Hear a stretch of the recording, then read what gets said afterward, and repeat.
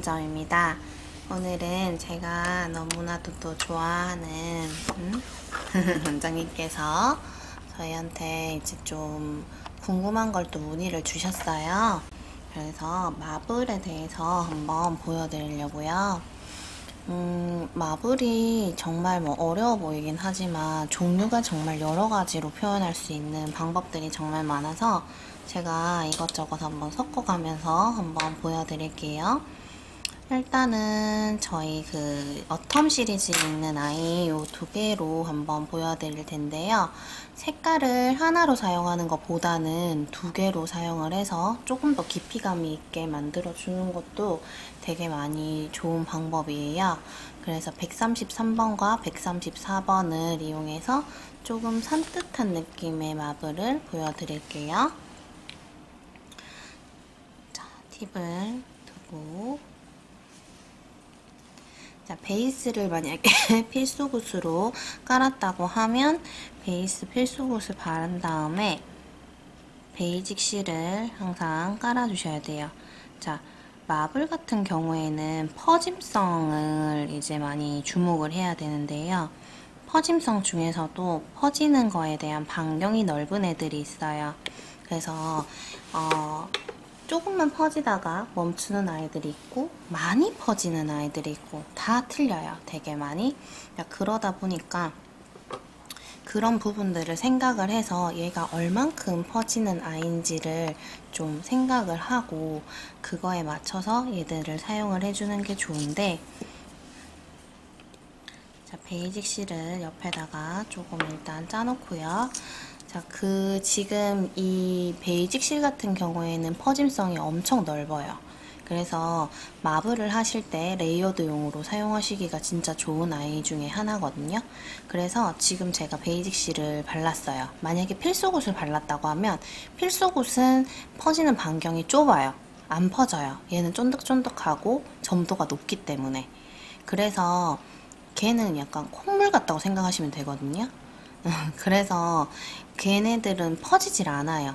그러니까 베이직 실 같은 경우에는 묽어가지고 얘 같은 경우에는 반경 자체가 넓으니까 그래서 얘를 꼭 필수굿을 하고 나서 어, 어, 베이직 실을 무조건 한번 깔아줘야 돼요.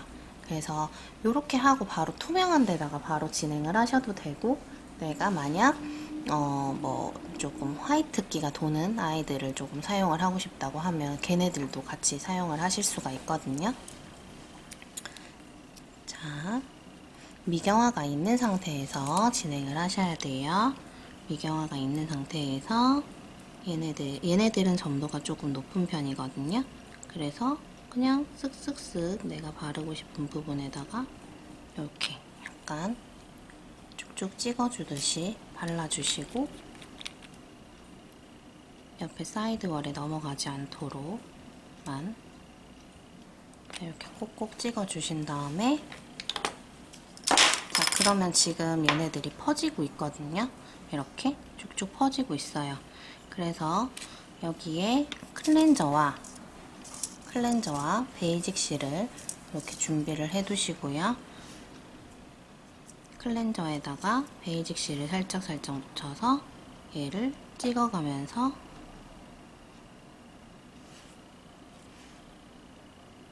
마블을 하는 거예요. 자, 이렇게 찍어주기만 해도 얘네들은 벌써 섞여서 마블 같은 효과가 나요. 자, 근데 여기서 내가 조금 더 약간 화이트빛 나는 그런 마블을 하고 싶다. 자, 죄송합니다. 제가 호일을 사용을 하면 안 되지만 호일만큼 편한 게 없어요. 하고 바로 버릴 수 있어서 자, 이렇게 화이트가 약간 묻어있는 이런 아이들을 가지고 자, 얘 같은 경우는 어때요? 점도가 묽잖아요. 저희 옴브레의 스노우예요. 자, 얘가 이렇게 점도가 맞는 거죠. 그러니까 얘로 이렇게 조금만 1번 브러쉬로 저희 1번 브러쉬로 이용해가지고 콕콕 찍어주기만 하면 마블이 완성이 되죠. 이렇게.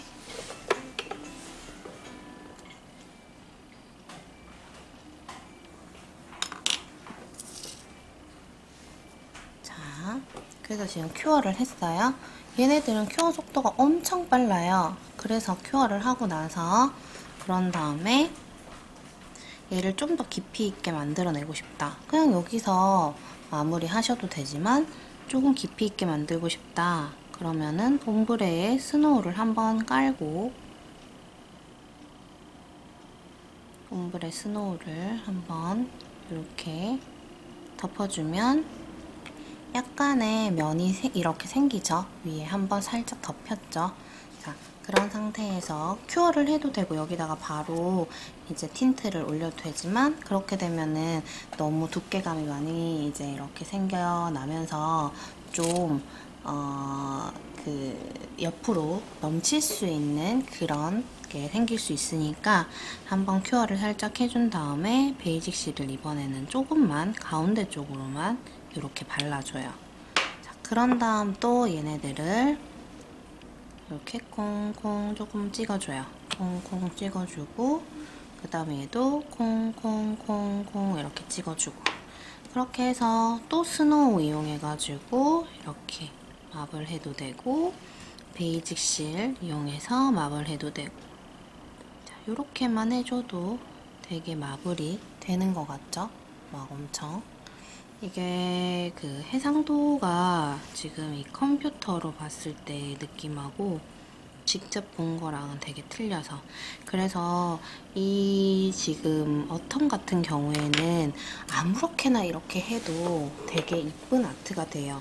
지금 잠시만요. 제가 이거 빨리 큐어해서 보여드릴게요.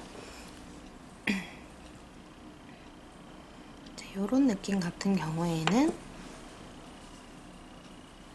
자, 이렇게 지금 잘 보이지가 않는데 깊이감이 어, 이게 직접 봐야지 좀 이쁜데요. 어, 흰색에다가 비치니까 예, 이렇게 이해 가시죠? 지금 이렇게 그냥 막 이렇게 섞어주면은 마블 느낌이 그냥 나는 거예요. 이런 데다가 뭐 스톤 같은 거나 이런 거 하나 붙여도 되게 이쁘고 그 다음에 손님들 손에 이제 이렇게 포인트 주실 때 하시기가 되게 좋죠. 이거는 마블에 엄청 기본적으로 진짜 많이 활용할 수 있는 부분이어가지고 되게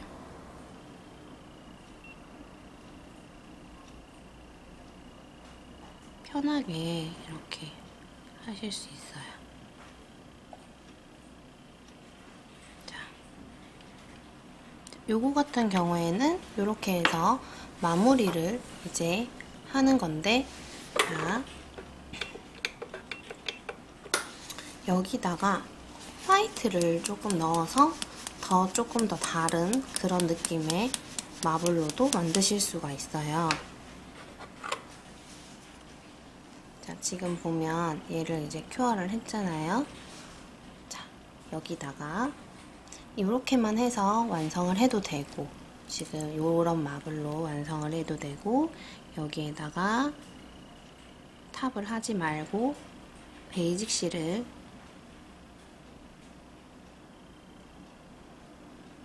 자, 이렇게 발라준 다음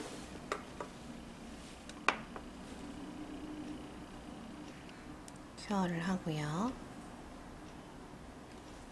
자, 이렇게 cure를 해준 다음에 얘를 닦아요. 한번 닦아줍니다. 이렇게. 닦아주고 나서 저희 칼라업을 이용해가지고 얘를 옆에다가 짜두고 브러쉬는 2호 브러쉬 정도가 제일 좋을 것 같아요. 2호 브러쉬를 이용해서 2호 브러쉬에다가 클렌저를 묻혀가지고 클렌저를 묻혀서 거기에 칼라업을 대고 이렇게 찍어가면서 만들면 칼라업 마블이 되는 거죠. 자, 지금 퍼지는 거 보이시죠? 이렇게 휘브로 불어가면서 하면 얘가 빨리 마르거든요, 또. 자, 이렇게 하면은 대리석 모양의 marble이 돼요. 좀 양이 많으면 내가 브러쉬로 쳐서 양을 조금 내도 되고 클렌저에다가 color up을 해가지고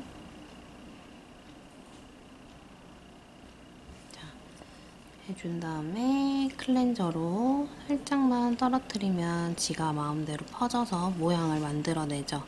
그래서 왜 basic seal을 밑에다가 깔아야 되느냐 미경화를 닦고 나서도 얘가 그 이 클렌저의 힘으로 퍼져야 되니까 그 퍼지는 힘, 그 퍼지는 밑에 바닥 자체가 부드러워야 되기 때문에 그거를 지금 basic seal로 깔아주는 거예요.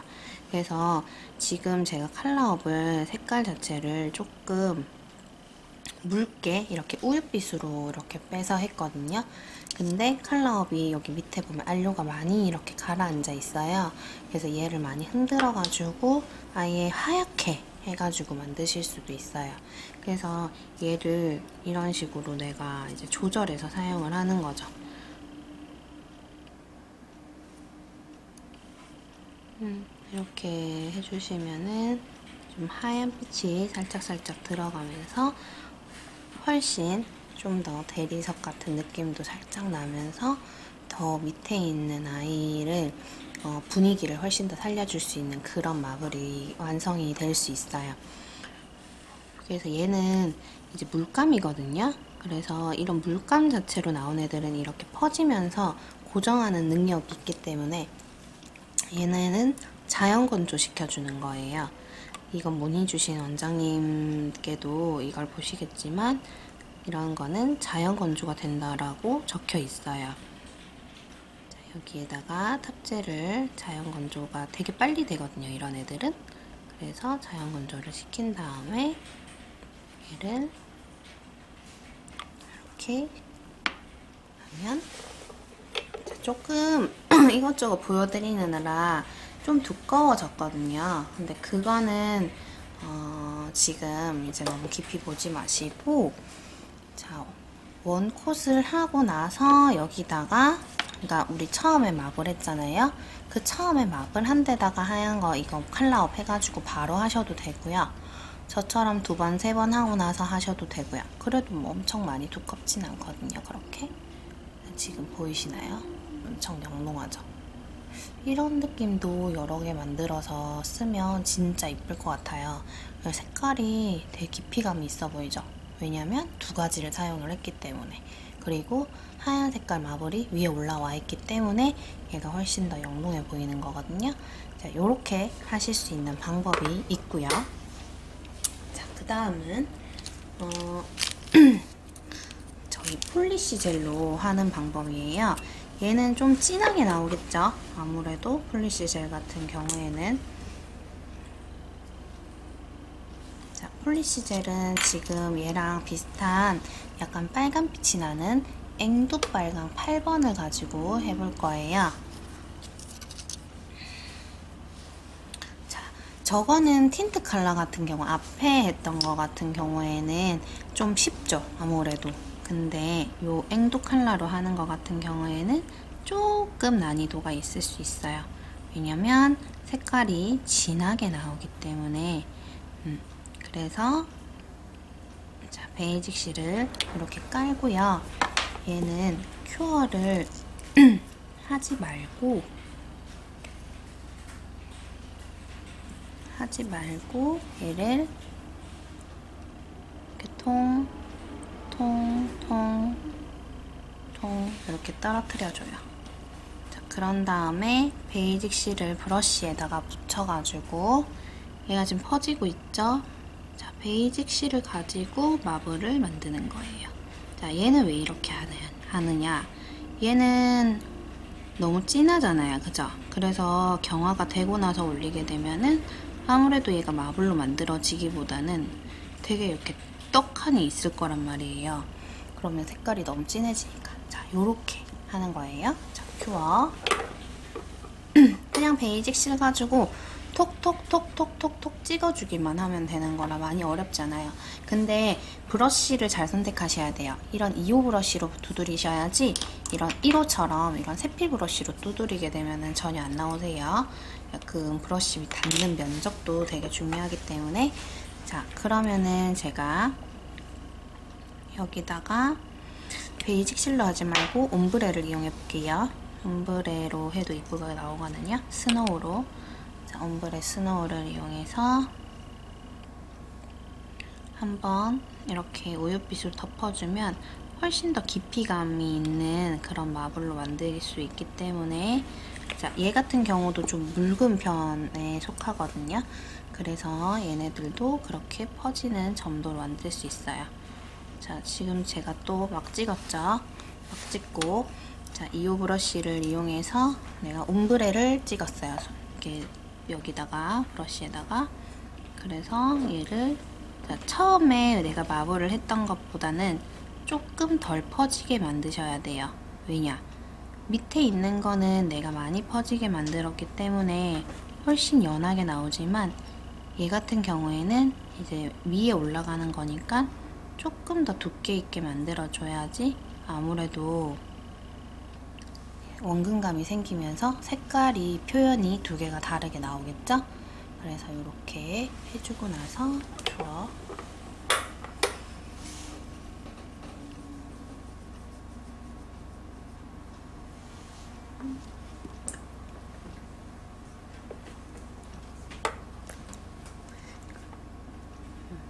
자, 그래서 지금 보면은 색깔이 꽤나 진하게 나왔어요.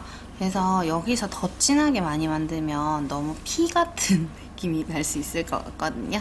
그래서 이 정도로만 하고 여기다가 아까 전에 우리가 컬러업으로 했던 거 있죠? 그 마블을 좀 넣어볼게요.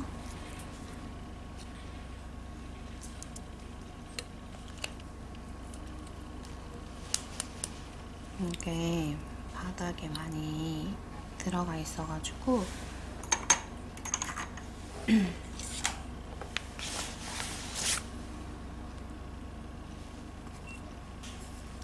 컬러업은 화이트를 흔들어서 해놓고 베이직 실을 이용해서 발라놓고 닦아 놓을게요. 아무래도 그냥 투명으로 하는 것보다는 좀 우유빛을 같이 섞어서 옴브레랑 같이 사용을 하는 게 훨씬 좀 깊이감이 있어 보이기는 하세요. 자, 큐어를 하고요.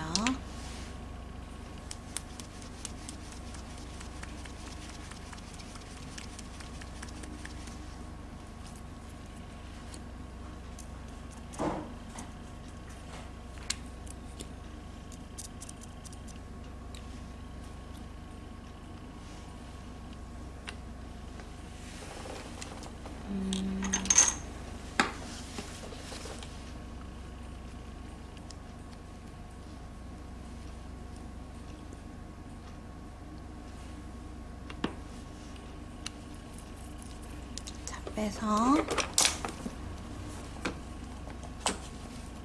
표면을 닦아주고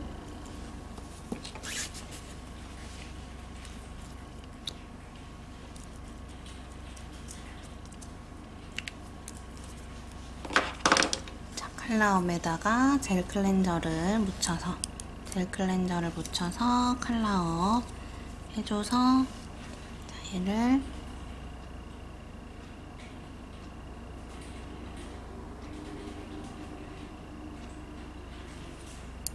해주고 젤 클렌저로 똥똥 이렇게 퍼뜨려주고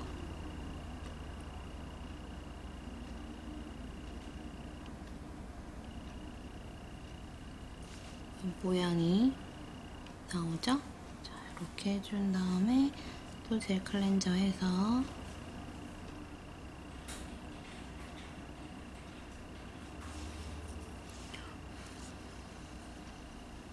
그래서 이렇게 후 불면 얘가 훨씬 더 진하게 돼요. 마르면서 퍼지거든요.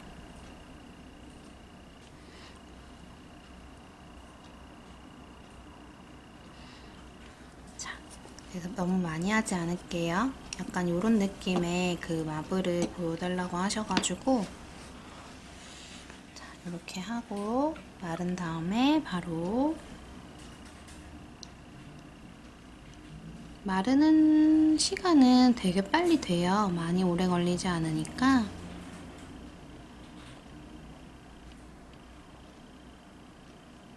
한 1분 정도면 자, 이렇게 바르면 네, 되게 깊이감이 있어 보이죠? 이게 그 화이트 snow ombre가 있기 때문에 훨씬 더 깊이감이 조금 더 살아 보이는 거예요. 투명한 걸로만 하게 되면은 그렇게 깊이감이 많이 살지는 않거든요.